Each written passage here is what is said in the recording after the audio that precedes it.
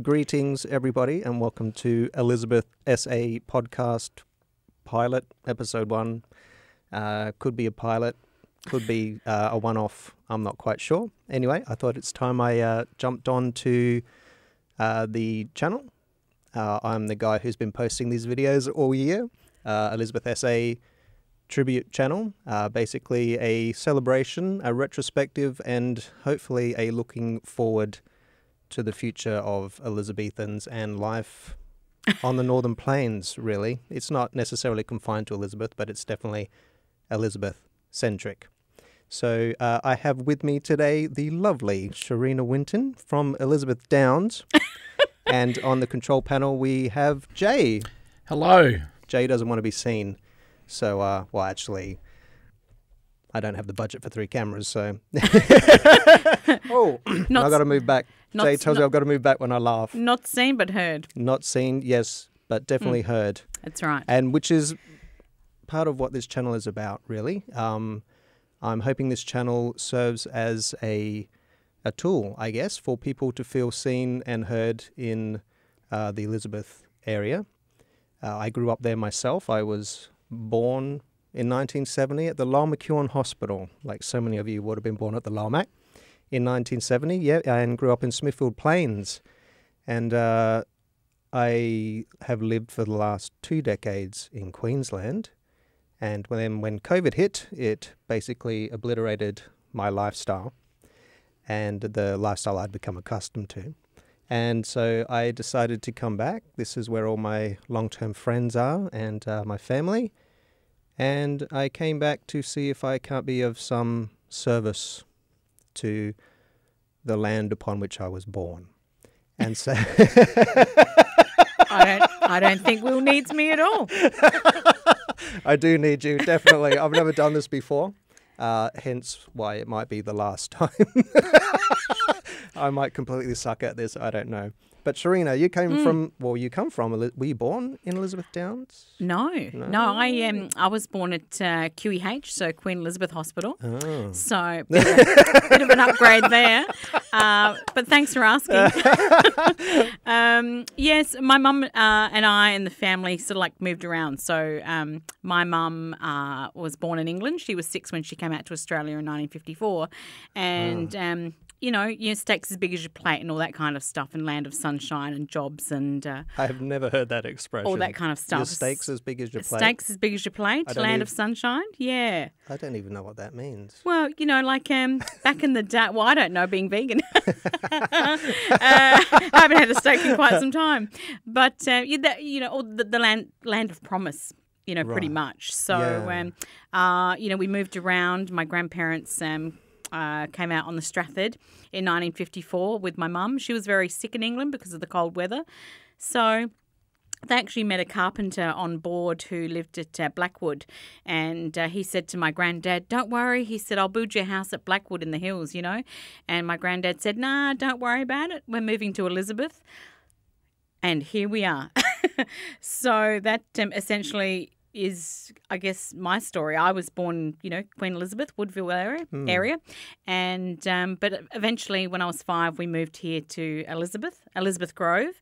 My mum is still in that house. Wow, really? Uh, she's bought it. That's It's a little semi-detached house, and um, you Yeah. know, she she earned uh, you know her keep and uh, paid off it.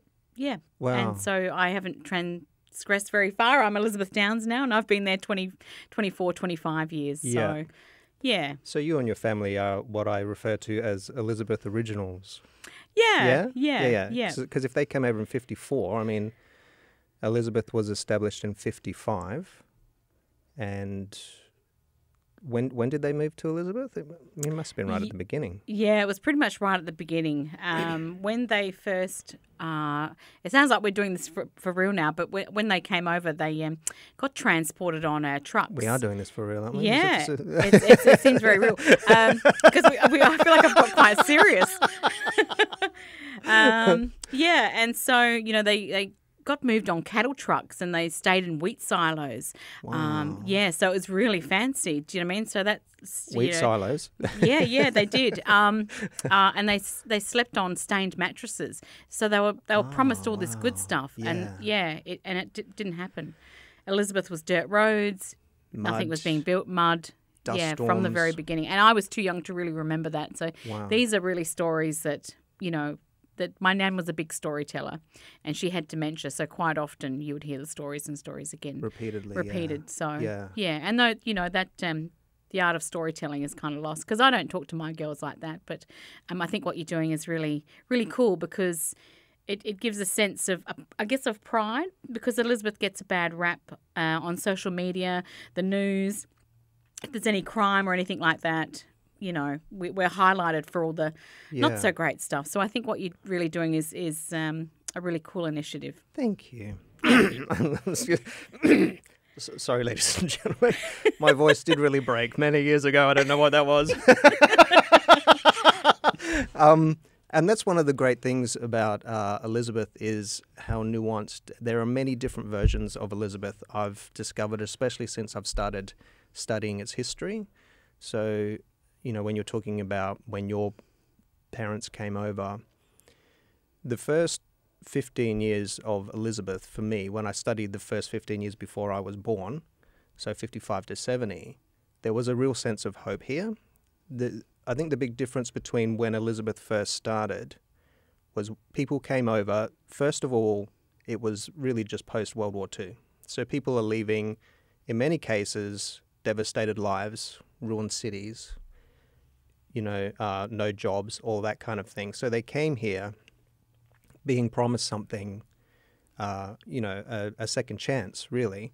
And then when they get here, of course, there's a lot of um, creativity happening in terms of they're still building the city, houses are coming up, factories are coming into the town. So there's a sense of a future, you Yeah. know. So when I when I study 55 to 70, especially, there's this people who are living here have a sense of a future. Whereas if I think about people who are born here today, you know, if you think about when I was four or five, I think four or five is when you really first start getting aware of your environment and you really start, it really starts to sink, sink in the predicament that you're in or whatever situation you're in. And so today, I think, you know, when I think of young kids who are first becoming their aware of their environment here, I, I don't really know what it's like for them, but I imagine that sense of a future isn't there the way it was between 55 and 70. You know, this idea that you're a part of something that has a future that is moving forward. I know we have the the Playford thing happening, um, but it's it's not the same. Elizabeth had its own identity, you know, and its own sense of self back in those uh, early years. And to me, they're completely different worlds. So when I study Elizabeth from 55 to 70, I feel like I'm studying someone else's town. It doesn't feel like I'm studying my town. When I, when I first started, sorry, I'm getting instruction from Jay. I'm the first time I've done this. I gotta, I gotta lean forward to talk and lean back to laugh. In a synchronized fashion. Um, yeah. so yeah, so for me there are just there are many different versions of Elizabeth and they're all valid. So when I was growing up, Elizabeth for me was a terrifying place. I didn't have the the affection that I have for Elizabeth then that I do now because I was too afraid of it. Because of experiences that I had growing up and and being very different, you know, when I became aware of my environment, when I really started to orientate myself, I'm in an industrial town. Um, and it may not come across immediately, but I'm not exactly what you'll call like a man's man. You know, I'm not I'm not the bloke around the barbecue Yeah. fixing up the car. Yeah. and certainly the idea of a uh, of a lifetime in factory work for me was that's just not who I am. You know, I'm I'm not built for that. I did work at Holden's. I was a welder, if you can believe that, um, and I hated it. I was miserable. Um, I felt completely displaced, and that was my experience of Elizabeth at that time, and it was valid. But it took me a long time to realize that there are many different versions of the place and they're all valid, you know. And some people's uh, version of Elizabeth, again, especially if they were here in the beginning, was one of community and bonding and creativity and uh, a sense of adventure, having left you know, they've come halfway across the world. They arrive here, you know, like you said, Mm. it's dirt and but at the same time it was the beginning of something. There was that hope and there was a future. So for me, I I love the nuance of that. I love that there are all these different versions of the one place, and so many of those, and, and a huge part of that is is really based upon what's going on behind people's eyes rather than what's in front of them. You know, so my version of Elizabeth being a terrifying place was a lot of that had to do with the pressure that I put on upon myself about who I was supposed to be and what I needed to do in order to fit in, and knowing that I didn't fit that. Um, what's been lovely about coming back is after being away for so long and living a completely different life, um, is that I've discovered that all that pressure that I put on myself back then was really self imposed. And that people are actually a lot more accepting than you realize. Yeah, I think back in the day, uh, now I'm sounding old, I'm 48, so I'm, I'm a 72 girl. Uh, 80s were really cool, 90s were pretty cool. Love- um, yeah. And there was, you know, I guess a, a sense of community. You knew all your neighbours, Mm. you played on the street, you moved out the way for cars. Do you know what I mean? You played football and street cricket and, um, you know. do people not move out of the way for cars? do you know? But do you know what I mean? No, in a funny. But you know, like um, there's that sense now where you don't see kids on the street. Um, you hardly ever see them on their bikes. Do you know what I mean? Um, you don't have the the street football. You've got bigger houses. You've got um, Smaller gardens. smaller gardens. If any you've, garden. You've got parks everywhere, which is great. Do you know what I mean?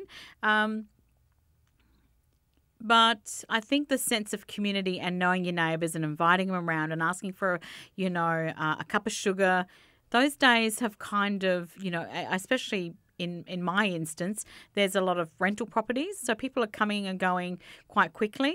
So you don't really get to make those connections like you did back then. Um, And and school and social media and lots of factors, you know, employment, uh, domestic violence, all that kind of stuff impacts, I guess, any place, not just Elizabeth, Mm. um, and how we connect, but um, and of course, you know, your councils as well. You know, they of course have an effect on how we grow, and uh, and Elizabeth has the uh, capacity to extend. Where you know, so Salisbury, you know, that's where it's like we work. It, you build that up. Um, but Elizabeth has the capacity to, with the land that it's got, can you know stretch out far and um, Even now, even yeah, still, yeah, it's, it's still so ever much land. changing. And and just uh, take a slight pause. I should probably uh, slip this in now that you've mentioned Salisbury. We are filming and recording this from PBA FM Community Radio in Salisbury. Ironically enough. Thanks for the plug. oh, did you like that, Jay? I moved back very nicely for the for the laugh. See, I'm getting the hang of this already. but I think also, um, speaking of councils, one of the brilliant things they did early on in terms of the shopping centres was they created shopping centres that acted as community hubs. So they were designed in such a way they had the the seating outside in kind of you know with little gardens and things like that. At Elizabeth West shops, you had that huge train that used to sit outside that the kids could play on. So there were there were uh, all these opportunities. There were public libraries at quite a number of the the local shopping centres. So there were all these opportunities. They weren't designed for people to just go in, part with their money, grab their goods, and then go home again. They were designed in such a way that would encourage people to hang around a bit and get to know each other, which I think was brilliant. Um, and that's actually something that I've only just recently started to appreciate, again, through studying the history of Elizabeth and then noticing that pattern. It's like, hang on, all these local shops had these seating areas, and um, which immediately sends a message to people, you know, that, oh, well, this is a place where we can actually sit and chat and, you know, we don't have to just get in and get out kind of thing. Um, and of course, those early shops too were designed to be leased to local residents as well. Um, the whole structure of Elizabeth was designed for um, easy access on foot for people getting out and you know walking to their local shop and all that kind of thing. So whereas now it's you know the the shops are much bigger. They're obviously designed for you to get in and get out as quickly as possible. Um, so you enter those places with that mindset which means you're you know there's I mean the difference in mindset to that I think is if you know you're going somewhere that's designed for you to feel welcome and to interact with people, then that's the mindset you go in with. It's like, but if the if the idea is you're going somewhere where you know it's all designed for you to get in and get out as quickly as possible, then there's a there's a, an inclination to kind of edit out whatever isn't needed in that objective. Do you know what I mean? If my objective is to get in and get out as quickly as I can, I I probably don't even notice people. Does that make sense? Yeah, yeah, I suppose. But in, in saying that too, I think that's the mindset of people, not so much the um, uh, the you know the design or the architecture or, or, of something, but I think people just in general now, you know, shop with their heads down. Yeah. You know, um, I think life just generally happens. Yeah. And uh, you know, I was always told to you hold your head up high and be proud, and do you know what I mean? Um, right take in that sense, you know, if somebody's not smiling, offer them one of yours, you know, real old school. Oh. You know, real, Was that your nana? That sounds very nana. you know, real old school stuff. Do you know what I mean? hey, I just got told I was edgy this morning, and now I'm going back to old Oh, school. hey, um, and, in saying Old that, school is the new edge. uh, old school is the new edgy. edge. And that's the really cool thing, I must add, is being a 70s girl, you're born in such an era where you appreciate what we had, but you, um, you're still cool enough to understand what's happening.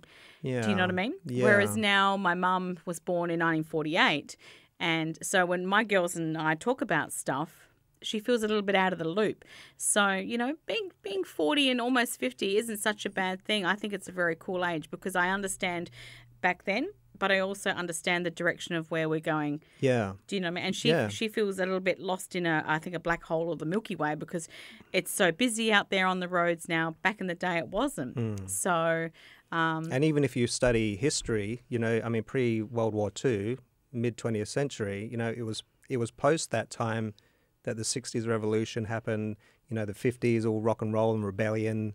Um, it was much more kind of conformist in a way before then.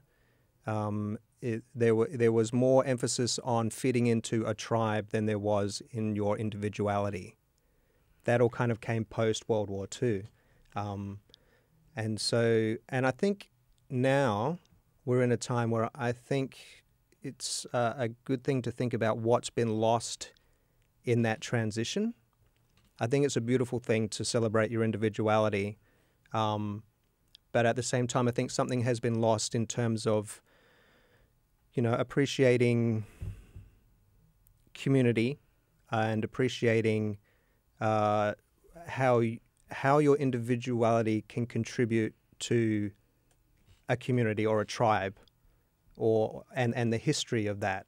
Um, I think something has just been lost in in our need as as a humanity to discover who we are as individuals. There's been um, a kind of a a necessary breaking away from the tribe, which is what I've felt. Certainly, I've lived most of my adult life uh, breaking away from the tribe. Um, but at same and maybe it's an aging thing as well, you know, because I just turned 50, and certainly throughout my 40s, I started thinking about what kind of elder I want to be, you know, because um, I think a lot of midlife is um, about discovering as you move forward what you have to offer people who are coming after you. Um, at least that's what it's been like for me. Um, it was it was either that, thinking about who I want to become as I moved towards becoming. A, I was terrified of becoming a useless old man. To be honest, I didn't want to become some like an old person that young people look at and think, "God help me, don't ever let me become that guy." You know, like I I, I think as you get older, younger people should be able to look to you for counsel.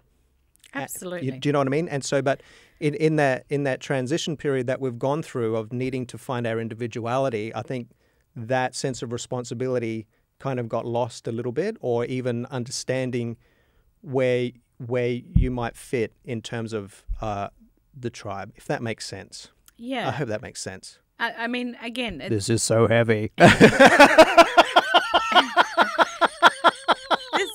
it has got nothing to. And do you know what? It that uh, that is just philosophical. That is life Yeah. wherever Yeah. you live. Do you know what I mean? Um, Yes. You get to an age where you know you become a responsible adult. Where Well, um, hopefully. adulting is hard. You know, some people at I think middle age they, now. they they leave their spouse for someone half their age and buy a sports car, and that's an option. yeah. or you get a nose ring. It's cheaper. it's just tattoo. it is cheaper. know. But do you know what? In saying that, totally off tangent, uh, I get told it's a midlife this whole podcast has been off tangent. Well, we may see more of this in the new year. I have no idea. This is either a, a lovely cap up to the year and the videos that have come before this one, uh, or the start of something new and beautiful. And uh, we'll get different people in uh, each week and talk about all those different versions of Elizabeth. I think what might be a really nice idea is to get somebody um, uh, older again, and then get somebody quite Are young. there are there people older than us? yeah, Yeah, you know what I mean. Their perspective, and then get somebody really young, like go from each end of the spectrum. I'm really, I'm Yeah. really interested in. Again, you know, I think around the age of four or five, you start to become really aware of your environment. Hmm. And when I think of, you know, that age now, four, five, six, seven, that kind of idea, and then, I mean, say you're growing up in Elizabeth Field, well, Davoren Park. When I was growing up, it was called Elizabeth Field, or Smithfield Plains. You know, you've got these shops that are being left to go derelict; they're not being maintained.